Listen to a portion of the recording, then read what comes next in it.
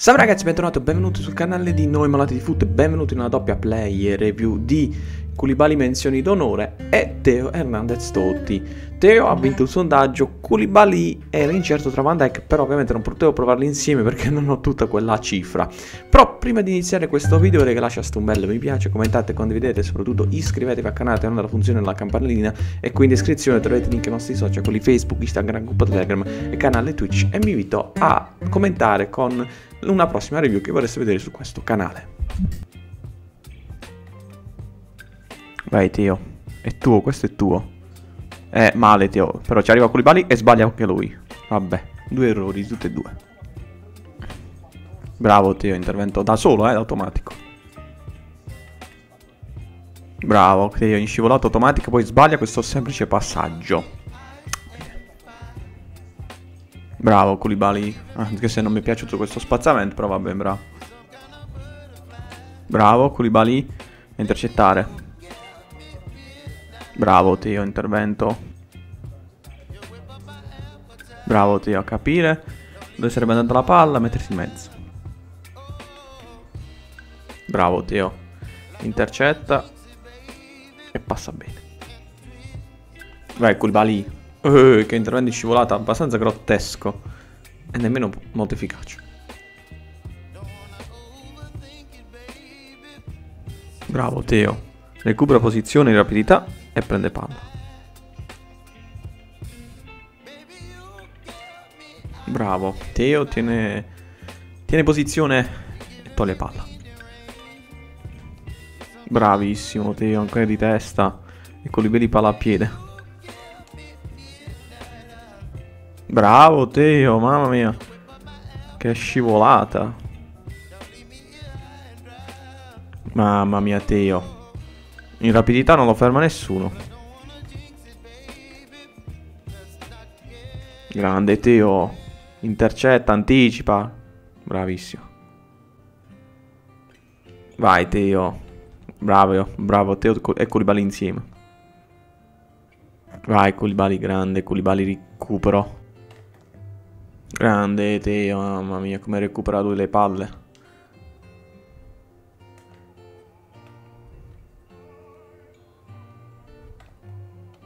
Bravo Koulibaly, dopo che Varane è un po' andato a zonzo.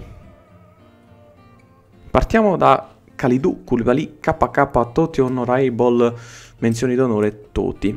Pagato 469.000 crediti. È un difensore centrale abbastanza interessante però purtroppo la velocità è squilibrata. Velocità squilibrata come contro. Perché? Perché ok che magari nella partenza è un po' così e così, poi ha un'ottima velocità massima, però se nella partenza viene bruciato, poi comunque eh, gli attaccanti partono e arrivederci e grazie. Diciamo che una volta su tre arriva a raggiungere, però non è sempre così purtroppo. Provato nel 4-4-2 con questa squadra per 4 partite di Weekend League, 3 vinte e una persa. 2 di skill e 4 di piede debole, 4 di piede debole di base sono un pro ragazzi per la maggior parte dei cristiani. Passaggio non male, passaggio non male, dribbling niente di che, però almeno è reattivo, onestamente non proprio, ha una buona reattività e una buona freddezza. Difesa e fisico sono i suoi due valori principali del quale dovete fare assolutamente affidamento. Perché? Perché ha un, una capacità di intercettare molto elevata, ha un'ottima marcatura, un ottimo contrasto in piedi e in scivolata. Il colpo di testa è anche buono, avrei preferito onestamente qualcosa in più, ma ce lo facciamo bastare 86 in salto e 88 in precisione di testa. La resistenza è la classica di un difensore centrale, ha un'elevatissima forza e una buonissima aggressività. Sull'aspetto della difesa e del fisico, onestamente parlando, va benissimo. Io l'ho messo ombra perché, ragazzi, appunto, questa velocità così sbilanciata doveva essere un attimo ricalibrata. Con l'ombra più o meno, ma ovviamente si, sente, si continua a sentire questo gap di differenza tra i due valori. Ahimè, la difesa non era molto importante aumentarle, però veramente difensivamente parlando è molto, molto, molto, molto presente e ha un approccio molto interessante. Però devo essere onesto. Allora, Varane è ancora un baggone, cioè è un difensore centrale con 84 di rating, ma che veramente Cimena duro ancora, ragazzi. Vabbè, intanto mi viene al party, non so perché, ma sti cacchi. Dicevo, Koulibaly come caratteristiche ha forte di testa, ma non sono convintissimo. Buono di testa assolutamente, però forte. Mi sembra un parolone, ragazzi. Nel tiro vi cito solo 75 in potenza che nemmeno ci serve. Un discreto passaggio, comunque non fa mai male in un difensore centrale. Come work rates alto in, alto in difesa e medio in attacco, body type unico. Come alternative nella, nella Premier League sicuramente Varan. Poi possiamo ah, anche l'88 tipo. Possiamo metterci un white 87. Poi, poi, poi, poi c'è un Kier, Kier, come cacchio si pronuncia? 85. Van Dyke, ovviamente Van Dyke, come lo volete chiamare.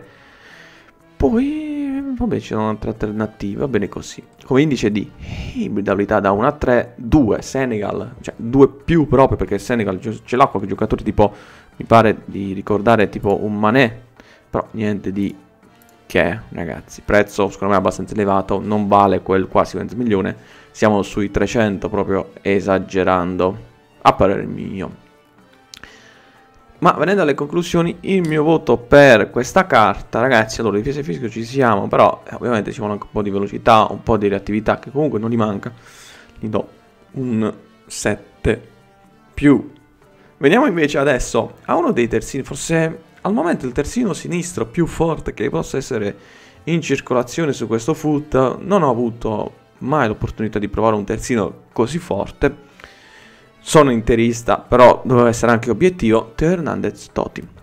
Pagato 1.286.000 crediti, è costosissimo, è costosissimo, però ha delle qualità immense, cioè lui potrebbe fare, può fare veramente qualsiasi ruolo, qualsiasi ruolo. Tipo, se lo mettiamo in attacco, arriva a 88 di rating senza stile intesa, ed è il rating minore. Io l'ho provato con lo stile intesa, uh, dovrebbe essere spina dorsale, che aumenta passaggio, difesa e fisico sono quei valori che in difesa potrebbero tornare più utile. 3 di skill e 3 di piede debole, peccato almeno un, un 4 di skill non avrebbero fatto male. Ragazzi, alto in attacco e medio in difesa come workets. Velocità. Allora, anche il passaggio, velocità, passaggio, difesa, fisico, cioè tutto, tut, non lo so, eh, terzino completo, terzino completo. Perché? Perché è anche un un buon colpo di testa per un terzino, buonissimo, cioè, però buono, giocatore che non si stanca mai, ragazzi, non si stanca mai, ha forza, ha aggressività, intercetta, buonissima marcatura, contrasti in piedi, contrasti scivolata, è agile, mantiene l'equilibrio, è reattivo, sa controllare la palla, sa dribblare, mm-hmm. sa avere freddezza e compostezza, compostezza, non ha calci piazzati, sti cazzi, ha un buon effetto, ha un passaggio lungo buono, sa crossare, ha una buonissima visione e sa anche passarla nel corto. Il tiro forse è la qualità proprio minore che possiamo ritrovare perché 77 di finalizzazione non è elevato. E vabbè ci possiamo stare un terzino che cazzo deve fare? Deve segnare. Però potenza tiro è un discreto long shot 80 ragazzi è velocissimo è velocissimo onestamente parlando è il, secondo me è il terzino più, più veloce eh? probabilmente che esista in Serie A è sicuramente il più forte. È il più forte. Cioè, ma veramente non serve nemmeno descriverlo più di tanto perché voi lo prendete, lo provate e ci sta. Magari nella prima partita ho notato che non era tutta sta forza, però poi nella seconda e nella terza, anche quando ho perso, lui dava il suo contributo, lui c'era. Non c'era molto in fase offensiva, ma sti cazzi perché io comunque gli mettevo la tattica di restare più in difesa, ma in fase difensiva recuperava, contrastava, marcava, andava in scivolata per cercare di recuperare palla Ragazzi, veramente tanta tanta roba. Come caratteristiche solo dribblatore veloce strano, perché comunque dovrebbe avere tipo qualcos'altro, non so, uh, moto, motorino, cioè comunque è un giocatore che corre sempre, ragazzi. Come alternative in Serie A non ce ne sono perché è unico, è unico nel suo genere, ma anche come alternative secondo Football non, non ce ne sono. Ragazzi, stile intesa optiamo o per spina dorsale o per guardiano, però io andrei su spina dorsale che lamenta passaggio, difesa e fisico, anche se il passaggio non è che li aumenta più di tanto, però va bene lo stesso. Come indice di ibridabilità di una 3-3, allora Serie A, Milan e Francia, top, top, top.